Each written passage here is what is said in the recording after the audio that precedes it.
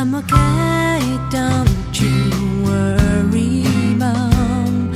Every day is passing tomorrow comes. Doing fine now, stop thinking. Cause it's all over now.